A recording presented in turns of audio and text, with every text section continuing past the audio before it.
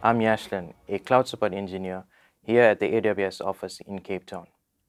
Today I'm going to show you how to troubleshoot device token not for topic errors when publishing APNS push notifications through Amazon Simple Notification Service or Amazon Pinpoint. Let's get started. First, let's look at some background information about the error.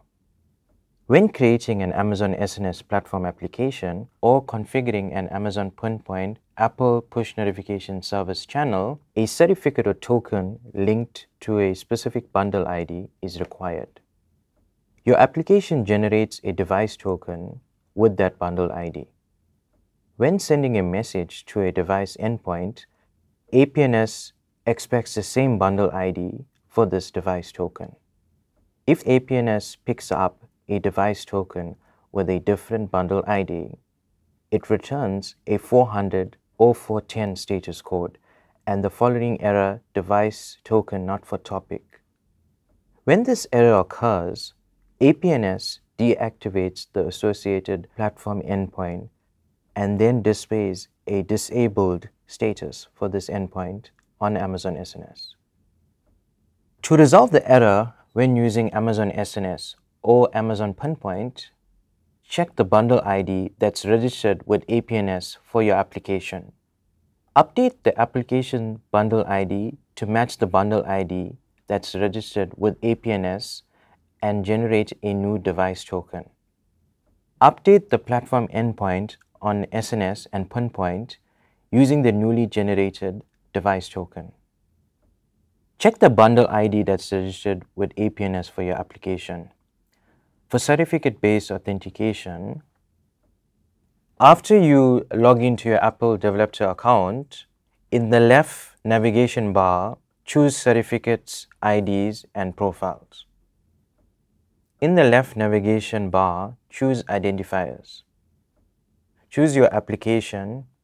Note, to verify that your application is linked to a certificate, navigate to Certificates, then view the bundle ID under name. Copy the bundle ID that's in the name field. This is the bundle ID that's registered with APNS for your application.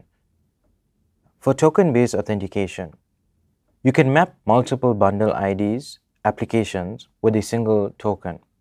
To verify that you are using the correct bundle ID, confirm them on either your Apple Developer account or on the SNS console. While still logged in to your Apple Developer account, click Identifiers, choose your application, copy the bundle ID. This is the bundle ID that's registered with APNS for your application. Log in to your SNS console, navigate to push notifications under mobile. Choose your platform application. Verify that the Apple bundle ID is the correct bundle ID. To update the application's bundle ID to match the bundle ID that's registered with APNS, open Xcode, choose your application's root project folder, choose signing and capabilities. In the bundle identifier text field, Enter the bundle ID that's registered with APNS for your application. The new bundle ID is saved automatically. Run your application to generate a new device token with the correct bundle ID. Update the platform endpoint. For Amazon SNS, run the set endpoint attribute AWS CLI command reflected in the Knowledge Center article. This command sets enable to true. For token, insert your newly generated device token. For Amazon Pinpoint, run the update endpoint AWS CLI command reflected in the Knowledge Center article. And now you know how to troubleshoot device token not for topic errors when publishing APNS push notifications through SNS or Amazon Pinpoint.